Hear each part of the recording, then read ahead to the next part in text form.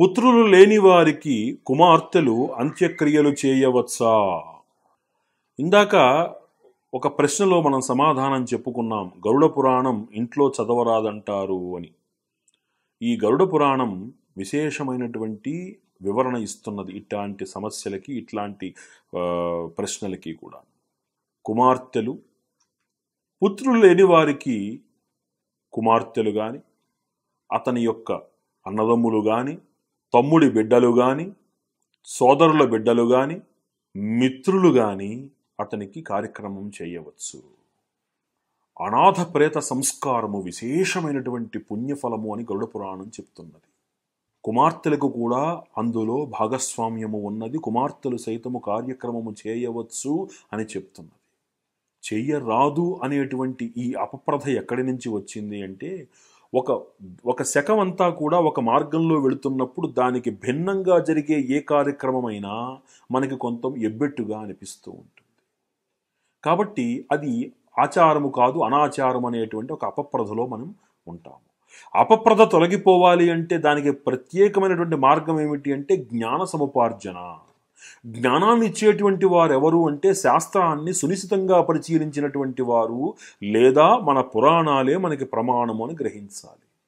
అందులో గరుడ పురాణము ఇత్యాది ఆబ్దికాది కార్యక్రమముల ఎందు విశేషమైనటువంటి ప్రశంస చేసి ఉన్న కారణాన మనకి ఇలాంటి విషయాలకు వచ్చేసరికి గరుడ పురాణమే ప్రశంస. ఆ రీత్యా చక్కగా కుమార్తెకు అర్హత ఉన్నది అని మనం మర్చిపోకూడదు. చాలామంది బ్రాహ్మలు పురోహితులు దీనిని మనకి అడ్డం పెడుతున్నా పురాణంలో ఉన్నది కాబట్టి దీనికి ఏ విధమైనటువంటి దోషము ఆపాదించవలసిన అవసరము లేదు. కూతురు యొక్క కూతురికి వివాహమైన ఎడల ఆమెకు అర్హత కోల్పోతుంది గమనించుకోండి. వివాహమైనటువంటి కుమార్తె ఉన్నప్పుడు కుమార్తె యొక్క పుత్రుడి యొక్క పుత్రుడు అర్హతను పొందుతాడు. అంటే దౌహిత్రుడికి విశేష అధికారం కలిగి ఉంటుంది. కుమారుడు చేస్తే ఏ ఫలితం వస్తుందో దౌహిత్రుడు చేస్తే ఆ ఫలితం వస్తుంది. కాని పక్షాన అతని యొక్క సోదరులు సోదరుల యొక్క పుత్రులు మిత్రులు అందరూ కూడా మేనమామలు అందరూ కూడా అర్హులే. వీరిలో కుమార్తెకు కూడా స్థానము ఉన్నది అని మనకి గరుడ పురాణం ప్రమాణంగా చెప్తున్నది.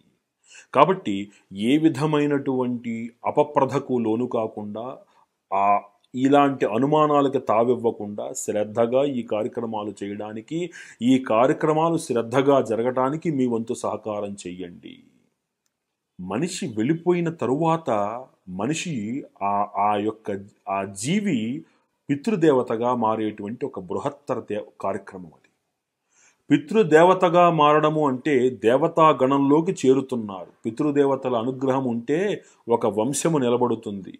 ఆర్థికముగా గాని ఆరోగ్యపరముగా గాని వంశము పరముగా గాని ఏ లోటు లేకుండా ఆ కుటుంబాన్ని పితృదేవతలు కాపాడతారు. కాబట్టి పితృదేవతలు అంటే మన జీవి దాటిపోయిన తర్వాత చేయించేటువంటి కార్యక్రమము చాలా విశేషవంతమైనది ఆ కార్యక్రమములో ఎట్టి నిర్లక్ష్యము పనికిరాదు. ఈ మధ్యకాలంలో మనం చాలా చోట్ల చూస్తున్నామండి. చాలా చాలా హేయమైనటువంటి విషయం ఏమిటంటే జీవి కాలం చేసిన పిదప అద్దె ఇంట్లో ఉండేవాళ్ళు మా ఇంటికి తీసుకురాకూడదు అనే నియమాన్ని పెడుతున్నారు.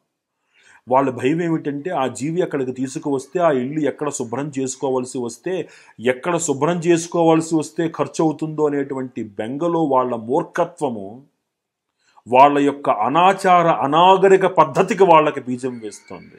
వాళ్ళందరూ మనుషులు కాదు పశువులతో సమానము. నడుస్తున్న రెండు కాళ్ళతో నడుస్తున్నటువంటి అశుద్ధం తింటున్నటువంటి పశువులతో సమానం అటువంటి వాళ్ళందరూ. గుర్తుపెట్టుకోండి. అలాగ దోషం చేసిన గరుడు పురాణం చదవండి ఒక్కసారి. అలా ప్రేత సంస్కారానికి కనుక లేకపోతే జీవి దాటిపోయిన తర్వాత ఇబ్బంది పెట్టారు అని కనుక మనకి నిర్ణయం జరిగితే ఎంతటి హీనమైన జన్మ లభిస్తుంది వారికి? ఇంకొకటి చెప్తోంది గరుడ పురాణం దీనికి ప్రమాణంగా. ఏమని అంటే ఈ కర్మదోషాలకి మళ్ళీ వచ్చే సంవత్సరం వచ్చే జన్మ దాకా ఆగక్కర్లేదు సుమా. ఈ జన్మలోనే అనుభవిస్తారు వాళ్ళు. గుర్తుపెట్టుకోండి. ఎప్పుడైనా సరే జీవి దాటిపోయిన తర్వాత అంత్యకాలంలో చేసేటువంటి కార్యక్రమమే దైవ పూజ కంటే కూడా శ్రేష్టమైనది అని గమనించాలి మనం. అందుకనే దైవ పూజ కంటే కూడా పితృకార్యముల ఎందు విశేషమైనటువంటి మడి ఆచారము ఉండాలి. శుచి ఉండాలి. అక్కడ దోషం జరిగిందా? పితృదేవతలు ఆగ్రహం చెందారా? మన వంశము నిలబడలేదు గుర్తుపెట్టుకోండి. మన వంశము నిలబడాలంటే పితృదేవతలు సంతోషించాలి. పితృదేవతలు సంతోషించాలంటే ఒక జీవి దాటిన తర్వాత అతనికి జరగవలసిన సంస్కారము చాలా సహేతుకంగా శ్రద్ధగా జరగాలి కాబట్టే దానిని శ్రాద్ధము అనేటువంటి పేరుతో పిలుస్తారు. ఇది అర్థం చేసుకోలేనటువంటి అనాగరికమైనటువంటి చదువుకున్నటువంటి మూర్ఖులు మూఢులు జంతు సమానులైనటువంటి వాళ్ళు అద్దె ఇళ్ళలో ఉండే వాళ్ళని ఇబ్బంది పెడుతూ ఎంతో హేయమైనటువంటి చర్యలకు వారు కారణమవుతున్నారు. చాలా పొరపాటు చేస్తున్నారు. తస్మాత్ జాగ్రత్త. వీటికి పరిష్కారము వీటికి వీటికి మీరు అనుభవించేటువంటి పాపఫలము మరుజన్మ దాకా వెళ్ళదు. ఈ జన్మలోనే మీరు అనుభవించవలసి వస్తుంది. కాబట్టి కుమార్తెలు అంత్యక్రియ తండ్రికి కార్యక్రమం కార్యక్రమాలు చేయవచ్చా అంటే ఏ విధమైనటువంటి నిర్ద్వంద్వంగా చేయవచ్చును? దీనికి ప్రమాణం మనకి గరుడ పురాణంలో ఉన్నది. ఏ ఏ నియమాలు పాటించాలి అనేది ఆ గరుడ పురాణాన్ని అనుసరించి మనం ఆయా పద్ధతుల్ని ఆయా సమయముల ఎందు మనం ఆచరించవలసి ఉంటుంది. ఎందుకని? దీనిలో మళ్ళీ వర్జ్య దుర్ముహూర్త నక్షత్ర మాస ఇత్యాది నమ ఇత్యాది ప్రమాణాలన్నీ ఉన్నాయి కాబట్టి అన్నిటినీ ఒక్క ప్రశ్నలో మనం చేయలే సమాధానపరచలేం కాబట్టి వీటన్నింటికీ ఏమిటంటే ఆయా సమయముల ఎందు నిష్ణాతుడైనటువంటి ఒక పండితుడి దగ్గరకు వెళ్ళి వారి దగ్గర మీరు చర్చించినట్లయితే మీకు దీనికి చక్కటి ఒక నిర్ణయం లభి ఒక పరిష్కారం లభిస్తుంది. అమ్మాయి చెయ్యరాదు అనే అపప్రథ నుంచి బయటపడండి అమ్మాయికి అర్హత ఉన్నది. ఇల్లు లేదా దుకాణములో చీపురు ఏ మూలన ఉంచితే మంచిది? చాలామంది చీపురు విషయంలో కొంత సెంటిమెంట్ తోటి ఉంటారు. నిజానికి అది ఉండవలసినటువంటి బాధ్యత ఉన్నది.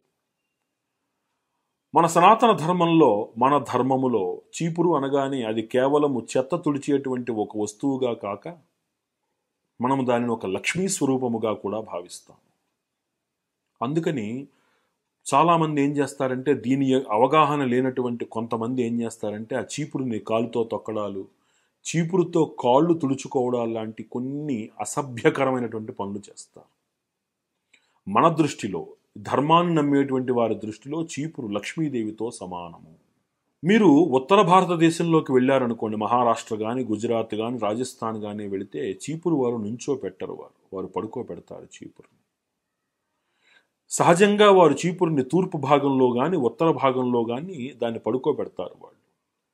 తద్వారా స్థిరమైనటువంటి లక్ష్మీదేవిగా దాన్ని వారు భావిస్తారు వారు. దక్షిణ భారతదేశంలోకి వచ్చేసరికి మనం చీపురు నిలబెడతాం మనం. మనం కూడా తూర్పు ఈశాన్య భాగములలో కానీ తూర్పు ఉత్తర భాగములలో కానీ మనం పెట్టేటువంటి ఒక ఆచారం కనబడుతుంది మనకి. అయితే మనం నిలబెడతాము ఉత్తర భారతదేశంలో పడుకోబెడతారు. అంటే ఇది ఒక చిన్న ప్రమాణం ఒక చిన్న తేడా అంతే ఇది. అయితే చీపురిని ఉత్తర భాగంలో కానీ ఈ తూర్పు భాగంలో కానీ పెట్టడం అనేటువంటిది శ్రేయస్కరము. మీరు ఎక్కడ పెట్టినా చీపురు దాటడం కానీ చీపురు ఒకరి చేతిలో నుంచి ఒకరు పట్టుకోవడం కానీ చీపురు తొక్కడం కానీ ఇలాంటి పనులు చేయకుండా దానికి ఇవ్వవలసినటువంటి గౌరవాన్ని ఇవ్వండి. ఎందుకని? చీపురు ఇప్పుడు అర్థం చేసుకోవాల్సింది ఏంటంటే చీపురుని లక్ష్మీదేవితో పోల్చడానికి గల ఆంతర్యం ఏమిటి? ఇది అర్థం చేసుకోవాల్సిన విషయం. చీపురుడు ఇల్లు తుడుస్తుంది అంటే ఇంటిని శుభ్రముగా ఉంచుతుంది. ఎక్కడ శుభ్రత ఉంటుందో ఇందాక చెప్పుకున్నాం ఎక్కడ శుభ్రత ఉంటుందో ఎక్కడ సంతోషం ఉంటుందో ఎక్కడ ఆనందం ఉంటుందో ఎక్కడ ఆరోగ్యం ఉంటుందో అక్కడ నేను స్థిరముగా ఉంటాను అని కదా లక్ష్మీదేవి పలికేది. కాబట్టి శుభ్రతకు హేతువైనటువంటి శుభ్రతను కలిగిస్తున్నటువంటి చీపురు కూడా మనకి లక్ష్మీదేవితో సమానముగా చూడబడుతున్నది. అలా అని చీపురుకి పూజలు చేయడం లాంటివన్నీ పెట్టుకోవద్దు. అతి సర్వత్ర వర్జయేత్. చీపుర్ని తొక్కకండి ఒక గౌరవం ఇవ్వండి. ఒక పుస్తకం ఉన్నది నేల మీద పడింది తీసేటప్పుడు ఏం చేస్తాము? కళ్ళకు అద్దుకొని తీసుకుంటాం. అంతేగాని పుస్తకాన్ని దేవుడి గదిలో పెట్టి పూజ చేసి అక్కడే ఉంచేయం కదా? చదువుకోవాలిగా పుస్తకం తీసి దేని పనిని దాన్ని చేయనివ్వాలి. దానికి ఇవ్వవలసినటువంటి గౌరవాన్ని మనం ఇవ్వాలి. పుస్తకానికి ఇచ్చే గౌరవం ఏమిటి? చదవాలి. ఎందుకని? పుస్తకాన్ని చదవడం ద్వారా జ్ఞాన సముపార్జన జరుగుతుంది. చీపురు వల్ల ఏం జరుగుతుంది? ఇల్లు శుభ్రత ఏర్పడుతుంది. కాబట్టి దానికి ఇవ్వవలసిన గౌరవం ఇటు ఇవ్వండి దానికి. చీపురుకి అధిపతి చంద్రుడిగా కూడా కొన్ని శాస్త్రాలు చెప్తున్నాయి. చంద్రుడు ఉత్తర భాగం వైపు తూర్పు భాగం వైపు ఉండడం కడు మంచిది కాబట్టి శాస్త్రపరంగా అటు పక్కన పెట్టాలి అనేటువంటి ఒక ప్రమాణం అంతే. ఇది ఇక్కడే పెట్టాలని ఎక్కడా కనిపించదు. ఇది మానవ మేధతోటి సృష్టించినటువంటి ఒక పద్ధతి ఇది కాబట్టి చీపురు ఉత్తర ప్రదేశ్ ఉత్తర భాగంలో కానీ తూర్పు భాగంలో కానీ పెట్టండి. వీలైనంత వరకు దయచేసి చీపుర్ని తొక్కకండి. ఇలా జాగ్రత్త తీసుకుంటే చక్కగా ఆ ఆ సత్ఫలితాలు మనం అనుభవించవచ్చు ఆస్వాదించవచ్చు అనుభూతి చెందవచ్చు.